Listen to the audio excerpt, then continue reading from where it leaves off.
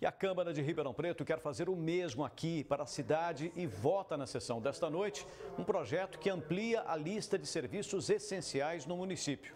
Dentre essas atividades estão os setores de bares e restaurantes, hotéis, eventos, shoppings e praças de alimentação, escritórios e empresas de advocacia, contábil, imobiliário, entre outros.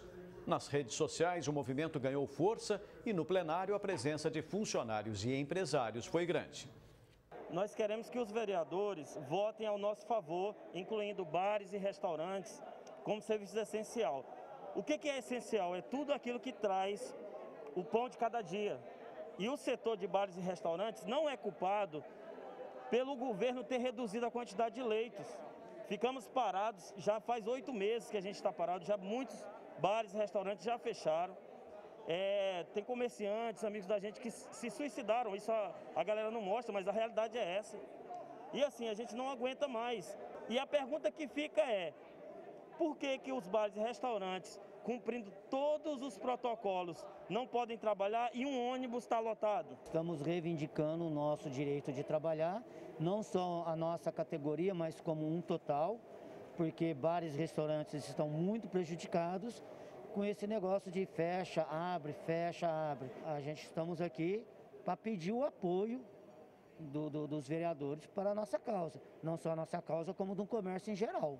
Os shoppings estão fazendo tudo desde o início. Nós temos distanciamento, nós temos número de pessoas em loja, nós temos álcool gel.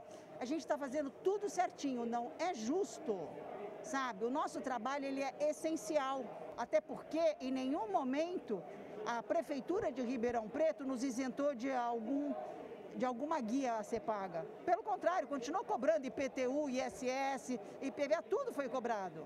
Para nós de bufês, tudo que foi pedido na primeira fase, álcool, tudo a gente seguiu os parâmetros certinho, horário, todos, o pessoal do buffet, nós fizemos um, um grupo e trabalhamos adequadamente.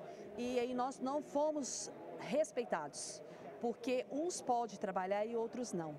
Nós precisamos de trabalhar porque nós temos aluguéis, nós temos funcionários, então nós precisamos de trabalhar, nós não podemos parar. Hoje nós vamos saber quem é os vereadores verdadeiros da cidade, porque na verdade eles se esconderam todos.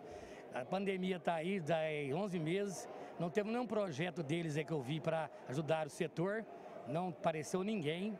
Então acho que está na mão dele agora para tentar aparecer e mostrar que eles são bons vereadores.